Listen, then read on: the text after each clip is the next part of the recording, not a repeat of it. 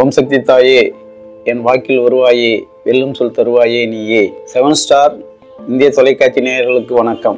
ரெண்டாயிரத்தி பத்தொன்பதாம் வருடம் எந்தெந்த ராசிக்கு எப்படி இருக்குன்றதை பற்றி பார்த்துட்டு வரோம். அந்த வரிசையில் இந்த பகுதியில் நம்ம பார்க்க போகிற ராசி மகர ராசி. இந்த மகர ராசிக்கு ரெண்டாயிரத்தி பத்தொன்பதாம் வருடம் எப்படி இருக்குன்னு கேட்டிங்கன்னா ராசி ராசிக்கு பன்னெண்டுல சனீஸ்வர பகவான் உங்க ராசியாதிபதி பன்னெண்டுல இருக்கார்.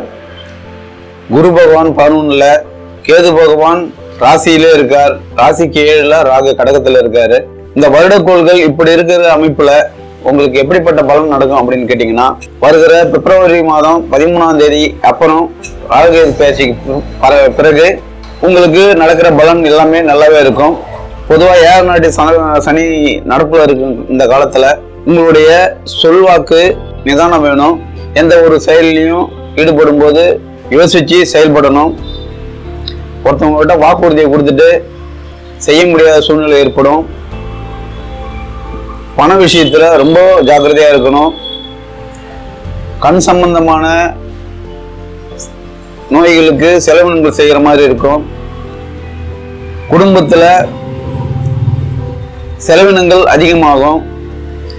அது வீண் செலவுகளாகவும் இருக்கும். சுப செலவுகளாகவும் ரெண்டும் கலந்த மாதிரி தான் இருக்கும். உங்களுக்கு பிப்ரவரி பதிமூணுக்கு மேலே உங்கள் ராசிக்கு பன்னெண்டாம் இடத்துல கேது வர்றது.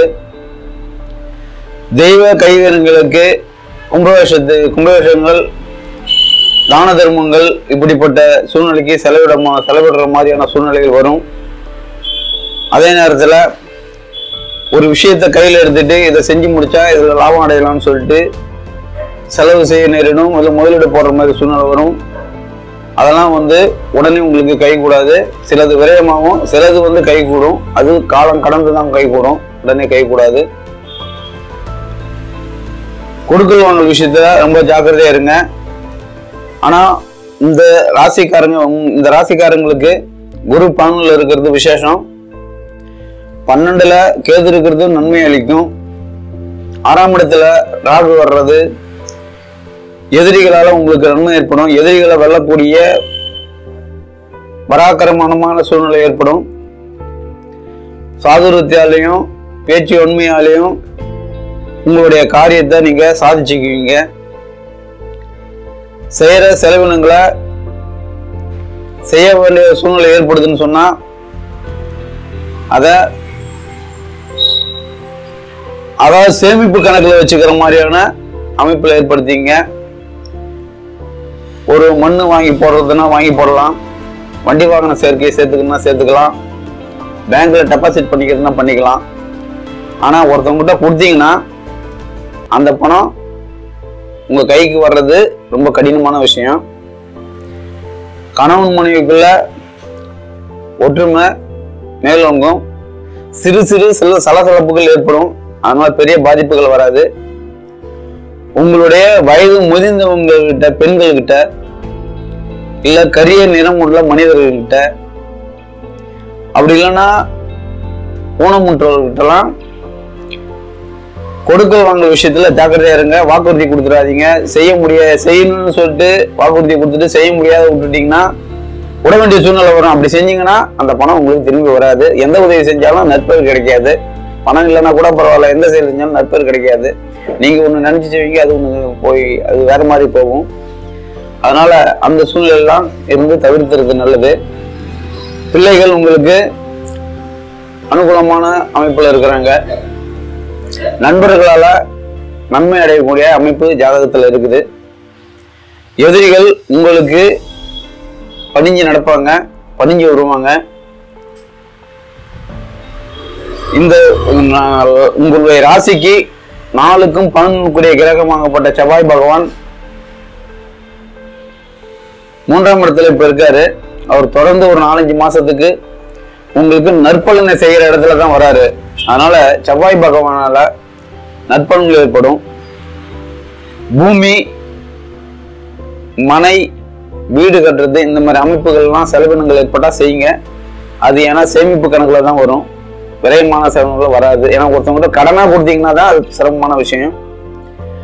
அடுத்தபடியாக பார்க்க போனீங்கன்னா விவசாயம் பண்ணுறவங்களுக்கு நல்ல மகசூல் கிடைக்கும்.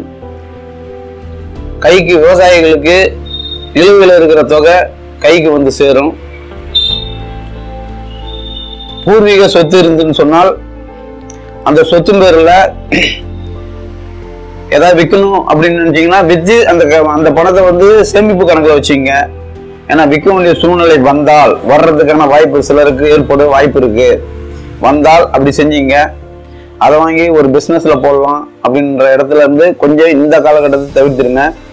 ஆனால் கெடுபலன் கிடையாது. நற்பலன் தான் அதிகமாக இருக்குது. மாணவர்கள் வந்து கல்வியில் கொஞ்சம் கவனமாக இருங்க. அதிகமான மதிப்பெண் மதிப்பெண்கள் பெறணும்னா நீங்கள் கவனமாக படிக்க வேண்டிய அமைப்பு இருக்குது. அடுத்தபடி பார்க்க போனோம்னா பெரியவர்கள்கிட்ட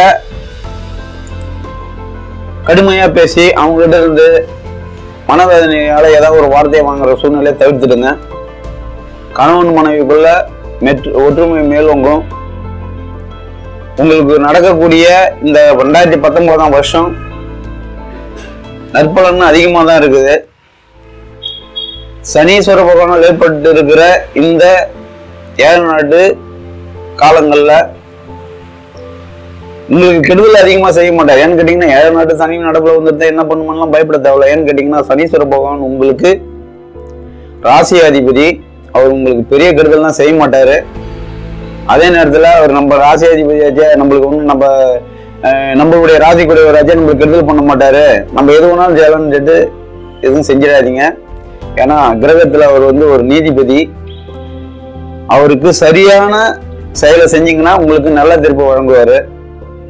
நீங்க எதா இருந்தாலும் தப்பு அடாவடித்தனமான செயல்களில் ஈடுபட்டு சனீஸ்வரன் நம்ம ஒன்றும் பண்ண மாட்டார்னு நினச்சிங்கன்னா அவரு தவறான தீர்ப்பு தான் உங்களுக்கு வழங்குவார். இந்த காலகட்டத்தில் அடாவடித்தனம் பேசக்கூடாது யார் மனமும் புண்படும்படி நடக்கக்கூடாது. ஒரு செயலை செய்யும்போது ஒன்றுக்கு பத்து தடவை யோசித்து செய்யணும். ஏன்னு கேட்டிங்கன்னா சிந்தனையில் உங்களுக்கு அதை செய்யணும் இதை செய்யணும் அப்படின்ற எண்ணங்கள்லாம் அதிகமாக உத உ- உதயமாகும். ஏன்னா ஆறுல வர்ற ராக் அப்படின்னா செய்வாரு. அவர் நற்பலன் தான் செய்ய போறாரு. இருந்தாலும் பின்னால சிக்கல மாட்டிக்க கூடாதுன்றதால இப்ப சொல்றேன். ஒண்ணுக்கு பத்து ட்ரிப்பா யோசிங்க. ஒரு ஒருத்தவங்க அதாவது வந்து ஒரு வயதான பெண்மணி வராங்க.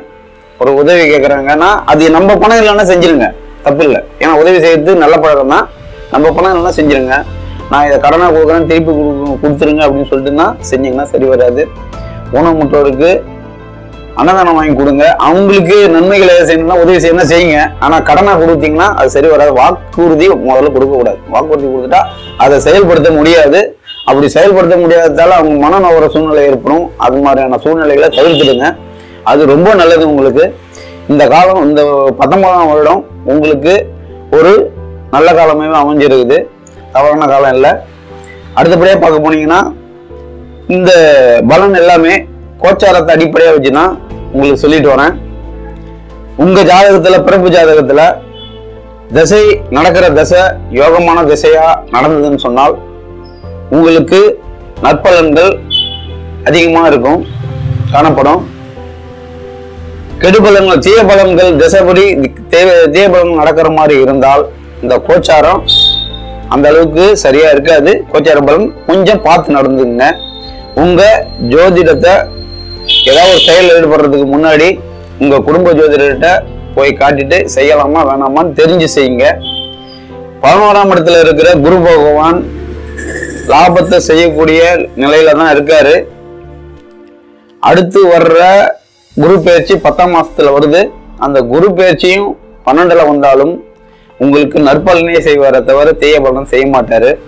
குரு பகவான் இந்த பத்தொன்பதாம் வருடம் ஃபுல்லா முழுவதுமே உங்களுக்கு நன்மையை செய்யற நிலையில தான் இருக்காரு.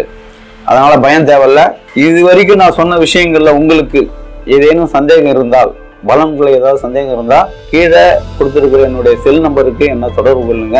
உங்களுக்கு விளக்கம் சொல்றேன். நன்றி வணக்கம்.